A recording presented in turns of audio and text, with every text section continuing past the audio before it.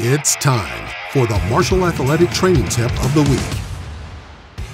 What are overuse injuries? Overuse injuries are caused by excessive training, improper technique, training errors, and inadequate rest.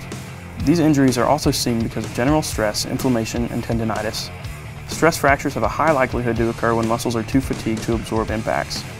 In younger athletes, there is a high chance of growth plate injuries occurring due to overuse and stress.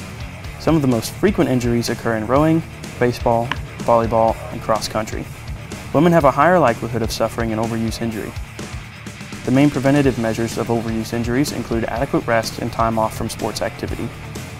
Research suggests limiting training to five days a week and always having one day off a week to allow your body to recover from intense activity. Allow your body to properly heal, rest, and prepare to best prevent overuse injuries.